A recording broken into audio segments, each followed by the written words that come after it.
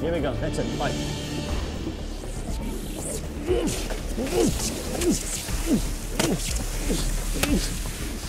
The shark instinctively dives, trying to rid itself of the hooks. Oh, oh, Watch it. Okay, let it go down. Let it go down. Let it go down. Okay, it's, it's hooked. And he's swimming on the surface with the buoy. I need the boat to be moving. With a great white on the line, the team is committed. There's no choice but to get this shark to the cradle to remove the hooks and attach the tag. Don't worry, don't worry. This shark is at least 17 feet long and weighs over one ton. By far, the largest great white ever hooked for satellite tagging. On the count of two. One, two, now. All right. Give me slack. Stefan needs to keep the shark on the surface to hand it over to the research vessel. But to avoid injuring the creature, he has to let out line when the shark pulls on the hooks. Okay, keep going straight ahead, dead ahead. After a 20-minute tug of war, the shark tires and rises to the surface. Let's move to the cradle.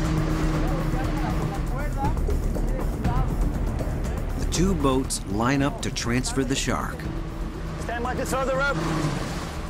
but they have to keep tension on the rope. The shark can still get tangled or caught in the propeller.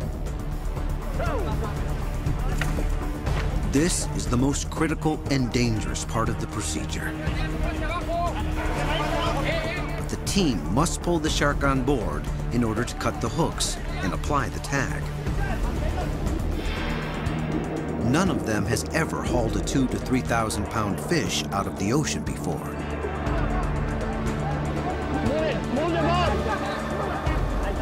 Finally, the shark's head rises out of the water. They must move quickly to land the creature and insert a hose with life-giving seawater. With the shark halfway on the cradle, there's no turning back. Ayúdale, Leonardo, este. To calm her down, they cover the eyes with a towel. This great white is so big, it won't fit on the 15-foot cradle.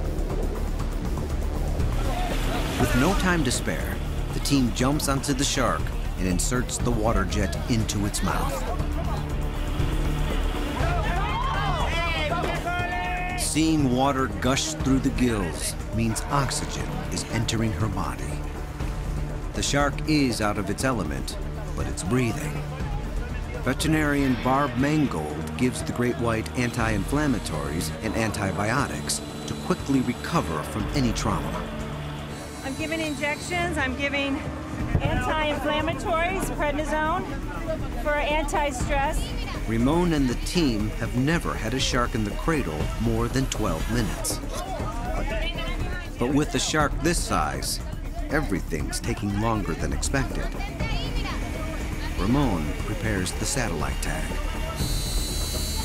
He's placed over a dozen of these devices on great whites. He says none have ever flinched or shown any sign of pain during the insertion. Okay, okay. Ready? Go. If all goes well, this tag will transmit data for at least a year before falling off. We need to get her out of the cradle as soon as we can. It's now been 17 minutes, longer than any great white has ever been in the cradle. And the shark is ready to go. Afuera, David. Atrás la saya. But even this giant predator needs a helping hand to escape.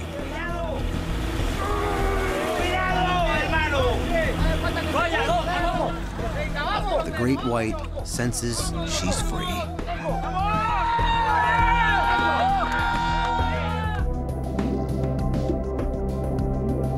But as she swims into the darkness, she's no longer just a great white. She's now an ambassador for her species. Nieto! Mucho! Well done, team! Well done! Within days, the satellite data starts coming in.